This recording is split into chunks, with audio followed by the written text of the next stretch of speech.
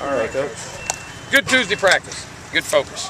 Had some good things, some bad things. Got to clean some things up. I love their attitude. Went at it. Uh, got some new things in. Got the things we need to get worked on. Got their looks going in for the most part, and uh, had a good solid day. Good solid Tuesday. I, I was I was happy with it. Any more excitement out there? I'm sorry. Any more excitement you, you see from the guys? No, you know something. I mean, but we I said that last week. We practiced probably as good as we practiced last Tuesday. This one was about like that. I mean, we were energetic and into it, and I don't know if it was any more. I mean, I thought it was just a good practice like we always do. I, I was very pleased with that.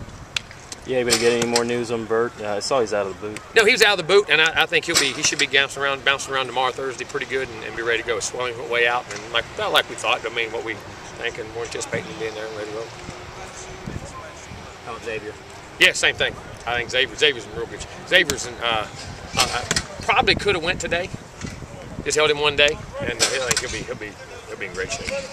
Feeling pretty good about both of them for Saturday at this point, at least. Yeah, No and, and from setback? right now, yes, I do.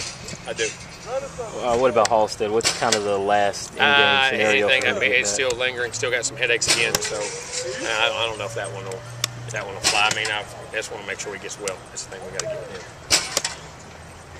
Coach, we talked to Greg Reid today. He said that his suspension was essentially voted on by the team. Is the process always that democratic? Sometimes for the right things. I mean, and like I say, they have to take ownership for the team. You know what I mean? And and we coaches, we supervise and do the right things. But you know, you have to. They have to have the the power to uh, make some decisions and understand the consequences of things. And I think it also means a lot more to the team, uh, to the guy who's punished, when his teammates understand what's going on with that. So that's part of our process. And certain things, other things, the coaches take over. But I thought that was one that we needed to put in front of our team. More progress from the running game this week. Yeah, I, I was pleased with it. I thought we ran the ball well today. Did some real good things. Uh, got better in there. Uh, really did. I was, I was very pleased with our running game today. Your uh, the young receivers have performed well early on, but this is obviously a different kind of test for them. What are you looking to see out of them, and what kind of contributions? do you Same think they thing, can just to relax and be consistent and make the pl- and, and, and play. And, and you know, as, as I say, like it's uh, they're on that yellow school bus going to their high school rivalry game. It ain't, it ain't no different. Just go play and do what you can do and let your ability show. And you know, stay with the process. When all when, it, when nerves and all that hit you, you got to stay with the process, stay with your fundamentals, and play fast because they got plenty of ability. Coach Fisher, can you tell me some fundamental things that your team does on a weekly basis despite who you're playing to get ready for a game? We- We're exactly the same every week. I mean, what we do, how we go about our inside drill, how we go about our 707, how we go about our team, our blitz, and, and we're attention to detail and everything. To, to, to us, every game is a national championship. Every practice is a na- You have to practice like every practice is a national championship because you have to create that habit, and that's the fundamental that we want to instill in our guys. Everyone's talking about this Oklahoma offense, and rightfully so. Oh, But yes. wh- what do we see on the other side of the ball from their defense so far? Uh, very athletic, good front guys that can run. Linebackers really athletic. Uh, cover good cover corners. Uh, safeties do a lot. They do a lot of different looks. They're in a, I mean, they'll be in four down. They're a lot of three down. They're in a lot of okie stuff, and they're blitzing fire zone too. I mean, they're as multiple as anybody we see. A lot of different looks, and uh, I'm sure we'll see them all on Saturday. Very well coached. Very well coached. like Terrence Brooks played a lot early on Saturday. Did you see some things from him? Yeah, I, I've been very pleased. I'm, I've been saying Terrence Brooks is a guy who's really coming on. I mean, he's a guy. You play nickel, you play in dime, can play corner, can play safety, can do a lot of things. Tackles well in space, has good ball skills, can run. I, I, Terrence Brooks is a very good football player and developing each and every day. Very pleased with him. Seems like he likes to hit too. Oh, he does now. He's physical. He likes it. Hopefully, our whole team likes to be physical.